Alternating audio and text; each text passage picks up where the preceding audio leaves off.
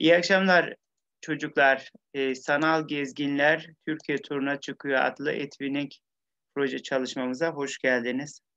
Ben çok teşekkür ederim. Bu güzel vakitlerinizi alıyoruz proje çalışmalarında ama ülkemizin değerleri, ülkemizin doğal ve tabiat güzellikleri, tarih mekanları çok daha güzel. Ee, bunları sanal da olsa gezmek çok değerli bizler için. Bu akşam e, gezeceğimiz yer Ayvalık Şeytan Sofrası, bir turistik mekan. Ve öğrencimiz Zehra bu konuyu bize anlatacak. Ama biz öncelikle bir bakalım Ayvalık Şeytan Sofrası neredeymiş, onu bir uydudan görelim. Sonra e, Zehra'nın sunumuna geçeriz.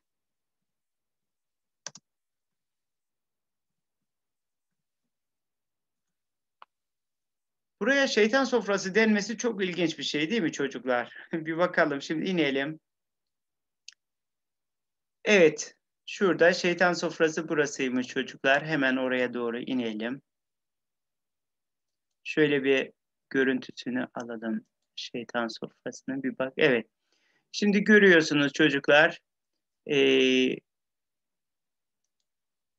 buradan kafe diye bir turistik yer var. Buradan da çok güzel manzara görülüyormuş. Evet, şeytan sofrası burasıymış çocuklar. Biraz daha yakınlaşmaya çalışırsak bakalım nasıl bir özelliği varmış bu şeytan sofrasının. Galiba net görüntüsü net görüntüsü yok. Ee, şeytan sofrasının çok net bir görüntüsü maalesef yer mekanı yok. Ama biz onun nerede olduğunu keşfettik. Zaten biz uydu programını bu tür e, amaçlar için e, kullanıyorduk.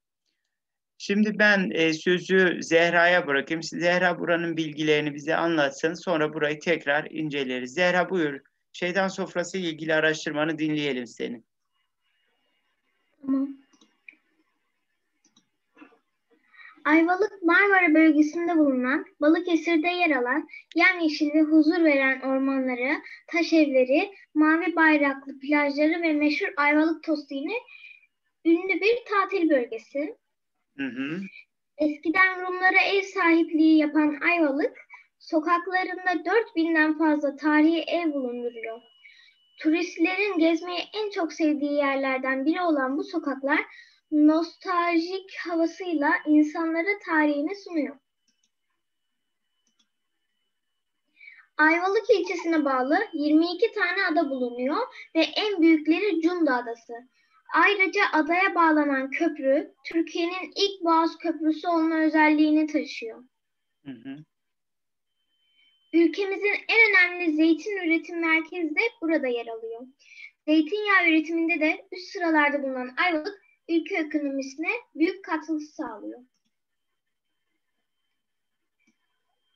Ayvalık'ta görülmesi gereken yerlerden birisi de Ayvalık ilçe merkezinin 10 kilometre güneybatısında bulunan Küçükköy mahallesine bağlı olan Şeytan Sofrası. Hem hı hı. hikayesi hem de muhteşem manzarası ile insanları büyüleyen Şeytan Sofrası gün doğumu ve gün batımını izlemek için mükemmel bir yer. Akşam olurken gökyüzünün aldığı renkleri seyretmek çoğu insana huzur, ver, huzur verdiği için o saatlerde aşırı bir kalabalık söz konusu oluyor. O yüzden biraz daha erken gidip yer tutmakta fayda var. Çok güzel. Tepeye çıktığınızda sizi muhteşem bir manzara karşılayacak. Sonsuza kadar uzanan bir deniz ve karşınızda irili ufaklı bir sürü ada. Bu tepe eski bir lav birikintisinden oluşmuş ve yuvarlak bir görüntüsü olduğu için sofraya benzetilmiş. Buraya gelenlerin ziyaret etmeden geçemediği yer ise şeytanın ayak izi şeklindeki çukur. Hmm. Bu çukur tepenin en ucunda bulunuyor ve demir parmaklıklarla çevrili. Çok rüzgarlı olan bu noktada insanlar bu çukura para atarak dilek diliyor ve demirlere kırmızı kurdeleler bağlıyor. Çukurun insanlar tarafından merak uyandıran mitolojik bir hikayesi var. Bu hikayeye göre Zeus'un İda adındaki süt annesi şeytanın Zeus'a zarar vereceğini düşünüyor ve bundan korkarak şeytanı kovuyor. Bu hmm. şeytanın üç ayaklı olduğuna inanılır. kaçarken bıraktığı ayak izlerden birinin şeytan sofrasında olduğuna inanılır. Diğerleri ise İda Dağları'nın eteğinde ve Midilli Adası'ndadır. Ee, benim sunumum bitti. Hoşçakalın. Teşekkür ederim. Özellikle bana şey Halikarnas Balıkçısı'nın Anadolu Efsaneleri kitabını e, anımsattın. Evet gerçekten ülkemizin e, çok değişik e, tarih, doğal, kültürel mekanları var. Tabii ki 30'a yakın medeniyete ev sahipliği yapan bir ülkeyiz biz. Ülkemizin değerlerini çok iyi bilmek, çok iyi anlamak ve çok iyi tanıtmak dileğiyle. Ben de e, başta Zehra'ya ve katılan bütün öğrencilerimize çok teşekkür ediyorum. E, iyi akşamlar diliyorum size çocuklar. Başka bir çalışmada görüşürüz.